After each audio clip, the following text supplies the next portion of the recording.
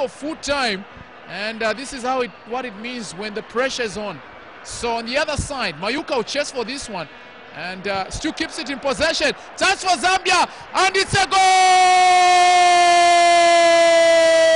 It's Emmanuel Mayuka, and we can safely say Zambia have got it.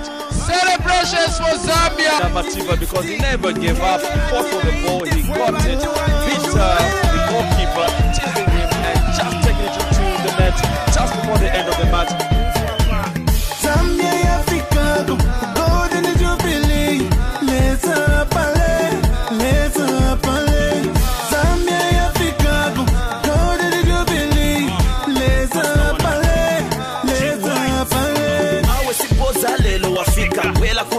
Kulaiticho kapofiba wakula manje. Changamuka corruption moto talamuka chikondi chalenga tafika panova nkondo takana tikutino zambia my pride my future.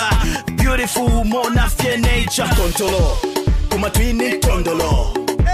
Natusaba nkanye mbila ya buntungwa fachalo.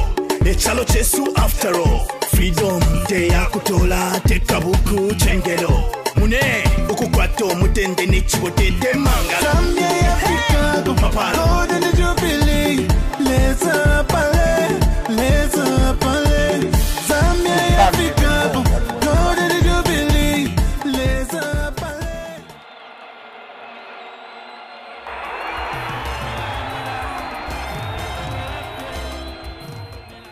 The spirit of Zambian people and the soccer fans, their, their spirit is very high. this country is not the most difficult to get the team spirit because their focus is uh, on the same way.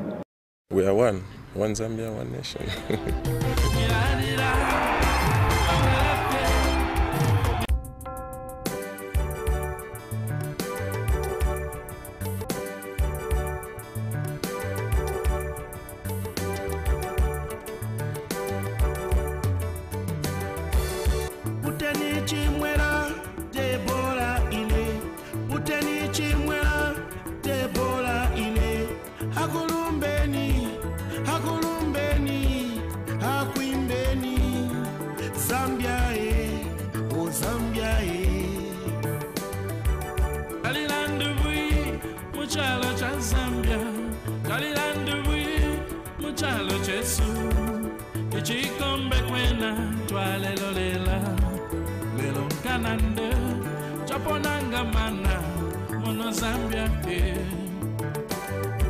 Whenever soccer is on the high in Zambia, everybody is happy. You don't care where he comes from, what race, what tribe.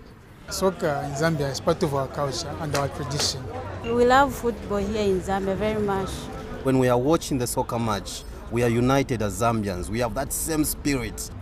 It brings all the 73 tribes we have in the country together. It has taken uh, a lot of young youths in the country. They enjoy it very much. We are one. So in terms of spirit, we are all united. Uh, that's why we are making it. Knowing Zambia for the first time, I've won the African Cup of Nations. It was something special. When the Zambian player, footballer, wears that green jersey with the eagle here, the symbol of our national identity, immediately has been given a shirt with the ego here. He stops to be a human being. He is told, conquer or die for Mother Zambia. That's, that's what we have instilled into them. When that football player wears that jersey, and it is an ego here, I'm emphasizing that, it's full scale.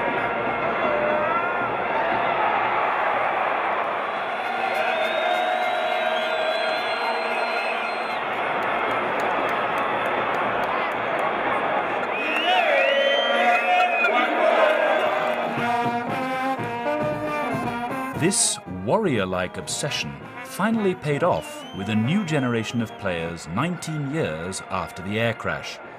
Ironically, Zambia's team won the Africa Cup of Nations in Gabon, just a few miles from where their older brothers perished. By fate,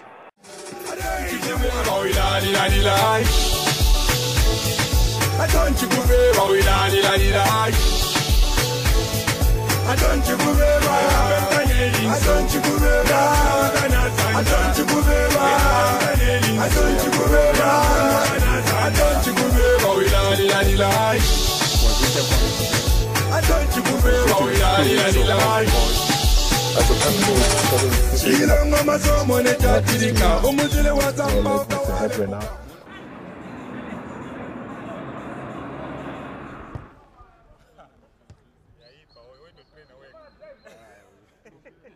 Kalililo Kakonje is goalkeeper for the national team. Born in Lusaka 27 years ago, he's now a national hero, thanks in part to the team's triumph in Gabon. There were a lot of good teams, a lot of better teams than we were. But I think to me it's, it's the team spirit, the unity in the team that uh, helped us to, to go all the way.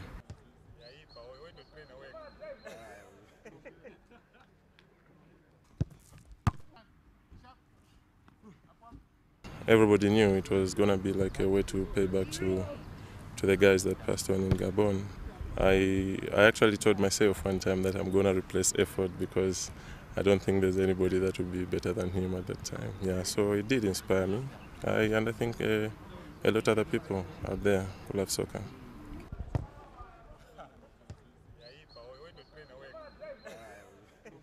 I think to me, I would describe football as um, as everything to me, because I've not known how to do any other thing apart from from playing soccer. It's shown me everything in life that I know. It's um, it's made me a known person around around the country. It's brought me before before great people. It's um, it's like a mother and a father to me.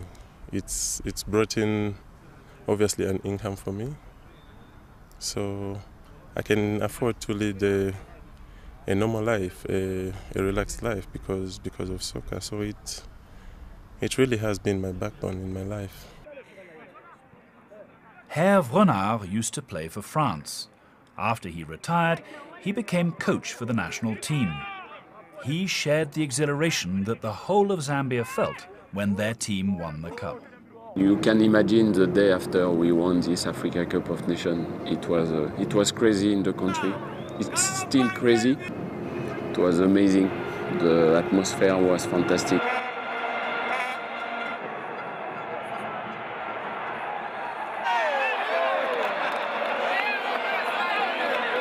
You know, you get success when you have a very good uh, skilled player and uh, when there is a fantastic team spirit. And in this country, it's not the most difficult to get the team spirit because their focus is uh, on the same way. You know, a lot of teams in Africa, they have a lot of very, very good players. Some of the best players are playing in Europe, but they don't have uh, a good team because they don't want to play together. For us, there is no problem for that. That means we can fail, but the spirit is always the same. It's fantastic. It's coming from uh, the very low age. You saw some very young players to start. And if you are saying to your player when they are eight years old, uh, the team spirit is uh, very, very important. I think you alert them and uh, they are growing up with this uh, idea in their mind. They pray together. Even the Chipolopolo, they pray every night together. We are not part of the prayer, but they are together. They build them team spirit. Renard is a national hero. We can say for the young player, you have time to be enjoy. You have time to to have a girlfriend, like you said, outside. Uh, but uh, there is uh, at the international level some uh, very important uh, appointment meeting. That means your focus has to be at 100% for the national team and uh, for your nation.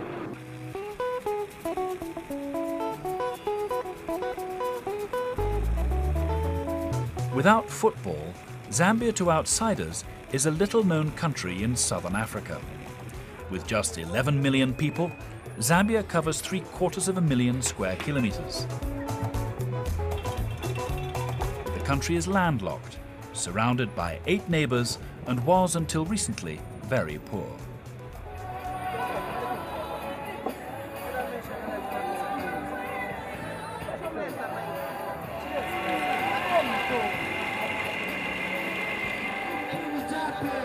In most African countries, the sporting hub is the capital city, but not Zambia.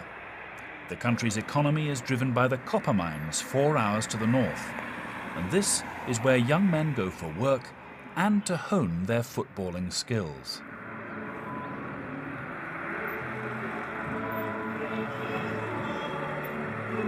It's the copper mines that sponsor youngsters at the start of their careers. The mines in the past used to have uh, welfare uh, places, you know, um, halls where the people would go there and play table tennis, play volleyball, and so they became significant in developing football. And so the, most of the players, before they were able to come and play in Nchanga Rangers, is because they had played the local league, and then they were, you know, prominent in their own. So I think the development was much more uh, sustainable, and it was uh, much more um, organized on, on, on the Belt because of because of that.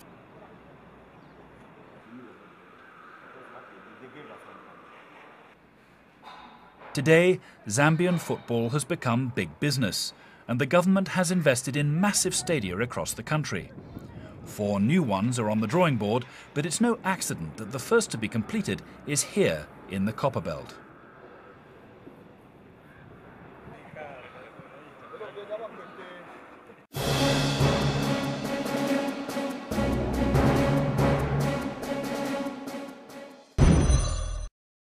In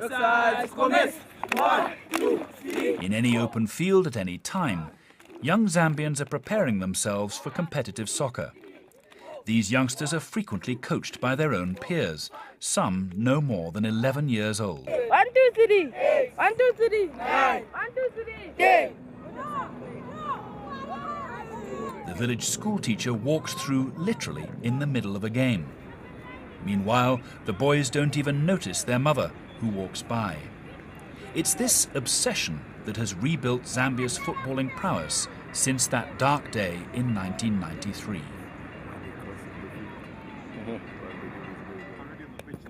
Back in Lusaka, the newly completed sporting academy is further testament to the government's obsession with football as a vehicle for national prestige. Kick it now. Kick it. Good. Drop the ball. The academy starts them young. From the first day they can walk, Zambian children come here and start kicking a ball.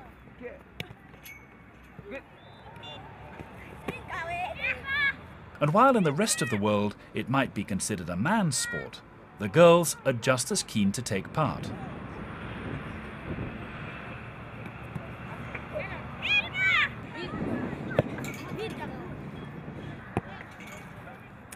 For school-aged children, prowess on the football field is every bit as important as academic accomplishment.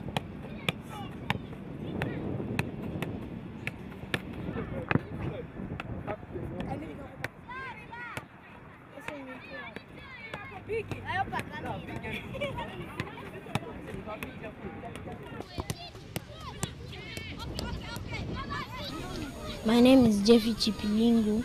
I go to St. Andrew's School of Lusaka. And uh, the first time when I came to Lusaka Youth Soccer Academy, I was seven years old. Um, I like playing it because it's, it's, it's one of the ways that I can play it with my friends.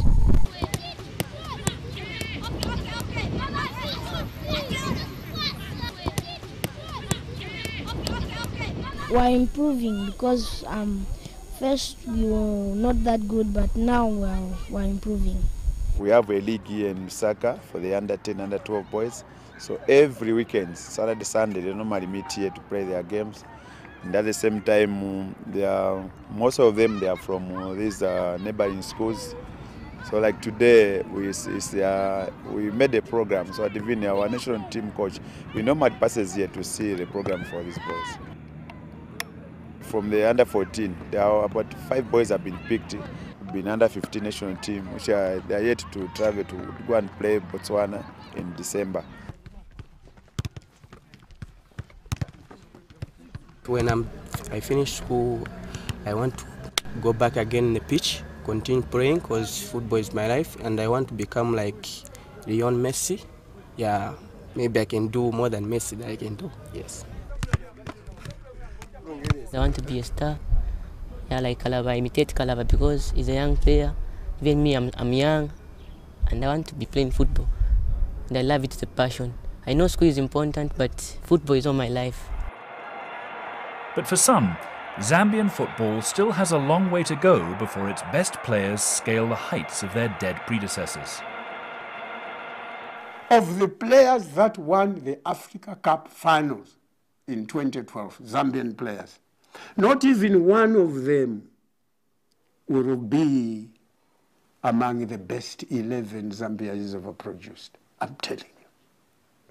We had Efford Chabala, Mighty Mufulira Wanderers and Zambia in goal. He was uh, not highly educated, but he used to practice playing football in what we call in a game of soccer off season. I would give that one to Shet number one for Zambia. He died in the plane crash. Dick Chama, Green Buffaloes. A killer, a soldier, to all intents and purposes. Five, Dixon Makwaza. Six, Richard Stevenson. Seven, Johnson Bwalya. Eight, Charles Musonda. Nine, Godfrey Chitalu. Ten, Samuel Zumunjovu. Eleven, Kalusha Bwalya. So speaks Dennis Liwewe, outspoken commentator and football pundit for the last 50 years. Dennis Liwewe is a legend of our time. Uh, when Dennis Liwewe came on the radio, he was commenting from Morocco, he was commenting from Egypt. First of all, he give you the background, so you exactly know, you, you know, in, in your young fantasy. When we were young, there was a moment that you started, you started to think that, hey, maybe one day Dennis Liwewe would say my name. Kalusha Bwalya's fantasy was realized, and he became one of the first Zambian players to play for European clubs. Now retired, he's become responsible for the success of the younger crop of players. The Kalusha Bwalyas of this world are now in football administration. They saw it through as footballers. He saw it through as a coach, and now he's in administration. Bwalya's early life could be that of any of today's youngsters, a life in which football alone holds the key to fame and fortune.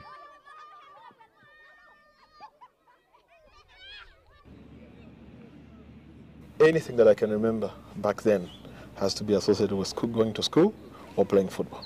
So it was, uh, uh, there's no two uh, no other thing that you, we used to do in those days um, because it's longer than five years or six years, I think. Coming into the national team, I was privileged to come into the team around the, in 1982. The trials uh, were held in Ndola, and so we went there. We're all looking forward to be part of the team. So you sit on the bench, and then there's two teams playing, and then they give you a run, run out for 15, 20 minutes, and you have to show everything.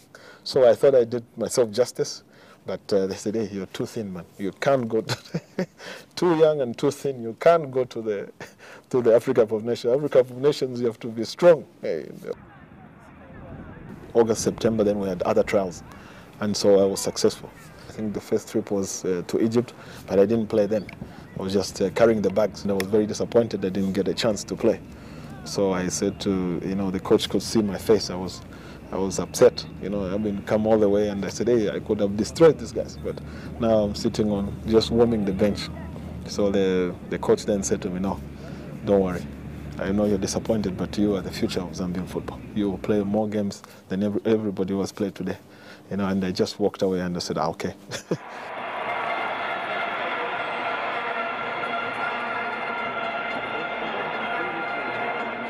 we did a very good job together uh, between 2008 2010 at the end we reached uh, the quarter final of Africa Cup. We lost uh, in penalty against Nigeria. We also reached the semi-final of CHAN 2009 we finished third. That means it was the first step of the success. I left for a short time and I was lucky to to be called back by the president Kalusha Bwalya. And uh, you know the story in uh, February 2012, we won the Africa Cup. It was uh, the resume of uh, my stay in Zambia, but it's, uh, it's a very good country to be coach. I think I'm lucky to be on the right place on the right time. And today, if I look at our team, when we played against Ghana, the amount of people who have come to the stadium. 41,000 people in the stadium against Ghana. And then you say, yes, the people, they're wearing their shirts, everybody's wearing a green shirt, and, and so there must be belief. If you go on the street, for every five person that you see, you see somebody in his national color. You'll see Herve now on the, on the poster uh, somewhere, you know, saying something, and, and, and I think that is good. Um, you can believe in, in the vision of, of, uh, of our team. We can believe as a Zambian that we can conquer the, the, the world. So um, we have to sustain that. We know we are on a good way. That means this is a process of uh, building something. When you are building a house, your house is not finished in uh, one week. You have to go step by step, and uh, sometimes it's uh, more difficult. Sometimes uh, it's very fast. Christophe, why you are not going to help him? Oh! I can be very hard. uh, You can see this example. We start a camp with the local players. Three were late for the, the report, and I don't have to be nervous in front of them. I just explain if you don't run to go to the national team, you are not motivated enough. That means I don't need you. We need the player to be proud to, to see the flag of Zambia in the air. This is the most important. The future of the country's football is in the hands of the Football Association of Zambia. Over the last four years, it's gone from a loss making institution into a highly profitable business, raking in millions of dollars in merchandise and international gate receipts. How many African parastatals must look at them with envy?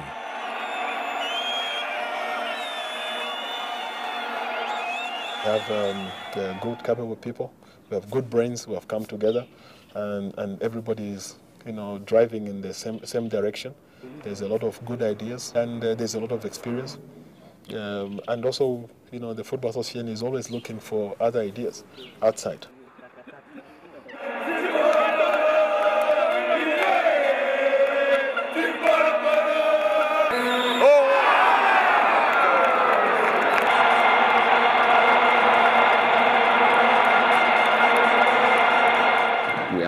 To have a, a fantastic stadium now. That means we have a, we have a bright future in this country.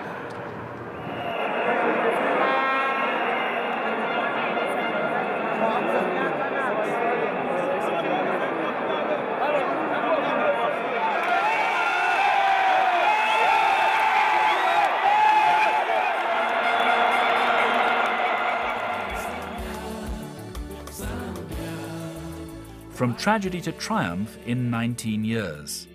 The story of Zambian football is an African success story. Having won the Africa Cup of Nations, Zambia's national team is looking to scale even greater heights. From 1993, I always live a day at, a time and try and enjoy myself while I'm still here because you know life um, uh, is precious, but um, you don't know what uh, what tomorrow can bring. I'll still support Zambian football. I'm proud of being Zambian actually. The spirit of Zambian people and the soccer fans, their, their spirit is very high. Polo Polo, one love. We are one. One Zambia, one nation.